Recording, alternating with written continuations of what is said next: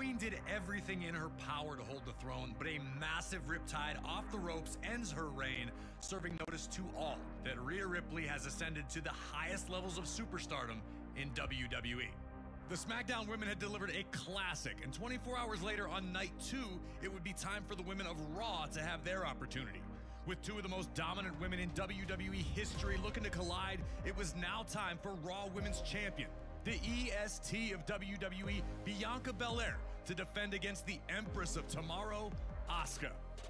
Bianca's rise in WWE had been meteoric. After a successful run in NXT, she joined the main roster at WrestleMania 36, and one year later, would capture the SmackDown Women's Championship in the Night 1 main event of WrestleMania 37. She'd lose to Becky Lynch at SummerSlam 2021, but the two would have their rematch at WrestleMania 38. This time, however, Becky was the Raw Women's Champion after being drafted from SmackDown, which would lead to her relinquishing the SmackDown Women's Championship in exchange for Raw's version. And this time, it was Bianca emerging victorious. Belair's reign would see victories over former women's champions Becky, Bayley, and Alexa Bliss. Truly in her element, no one has been able to find an answer for Bianca Belair, which is what made the world of sports entertainment buzz in anticipation when Asuka emerged from the 2023 Elimination Chamber as the winner, guaranteeing a meeting with Raw's women's champion at WrestleMania 39. When it comes to accomplishments, Asuka has left no stone unturned. NXT Women's Champion, Women's Tag Team Champion, winner of the 2018 Women's Royal Rumble, winner of the 2020 Women's Money in the Bank, held both the Raw and SmackDown Women's Championships, and of course, her initial undefeated run of 914 days to start her WWE career. Asuka had returned at the 2023 Royal Rumble sporting a new look, seemingly dialing into something even more sinister than her punishing norms. She didn't win that night, but rebounded nicely the next month at Elimination Chamber, securing the meeting with Belair. Would Bianca's strength and athleticism be enough to survive Asuka's submission and kicks? Could Asuka find a way to stop a prime champion who seems unstoppable? Or would Asuka find herself as just the latest former champion to fall victim to Belair's KOD? These were the questions on the minds of the members of the WWE Universe. If you're going to defeat Asuka, it's going to take everything that the EST has in her arsenal. The power advantage is there, and if the KOD connects, it's lights out. But swing for the stars against Asuka and miss, then it's the mist. You're on your own, against the wall, but we all know that even with the pressure building, you will never fall.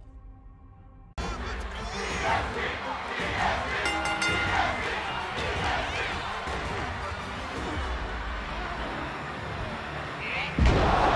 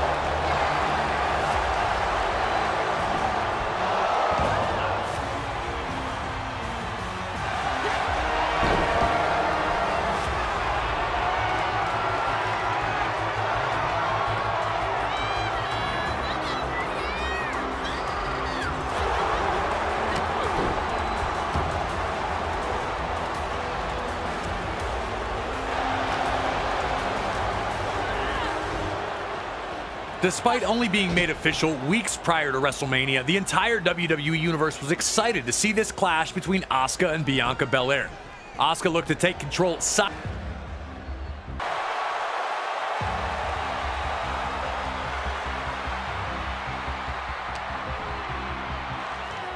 Eventually, Belair was able to wear Asuka down with her power, and a huge body slam looked to completely defeat. What made this match stand out was how Asuka and Belair